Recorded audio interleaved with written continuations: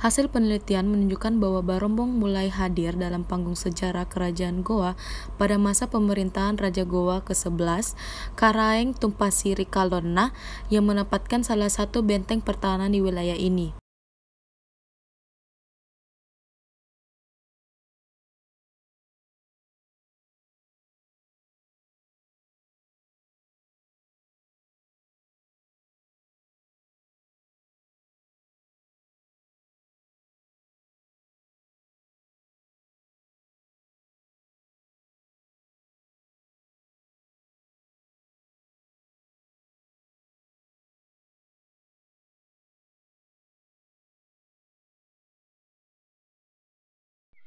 Kau tahu tidak, sampai hari ini Barombong masih selalu luput dalam sejarah.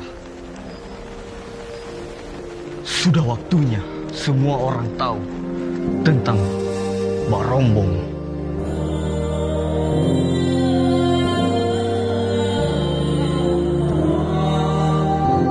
Selain merintis pembangunan Sumbo Opu sebagian bandar transito yang ramai dikunjungi pedagang-pedagang asing, pada saat itu Syahrul Lasin Limpot 1995 Karaeng Tumaparisi Kalonna juga merintis pembangunan benteng-benteng di sepanjang pesisir antara lain seperti Benteng Talo, Ujung Pandang, Mariso, Panakukang, Garasi, Galesong, Barombong, Anak Goa, dan Benteng Kali Goa. Salah satu benteng yang memiliki peranan penting bagi kerajaan Goa adalah benteng yang terletak di Barombong. Namun perannya seolah tenggelam dari kemasyuran Benteng Sumbo Opu dan Benteng Ujung Pandang sekarang dikenal dengan Fort Rotterdam. Pembangunan benteng Barombong dimaksudkan untuk melindungi gapura musuh yang sewaktu-waktu mengintai kerajaan Goa, khususnya ibu kota kerajaan di Benteng Sumbo Opu, serta dalam peristiwa yang sangat monumental adalah perjanjian Bungaya yang dilaksanakan 18 November memberikan indikasi bahwa Barombong di masa lalu memiliki peran penting baik sebagai arena perang maupun sebagai arena perunding.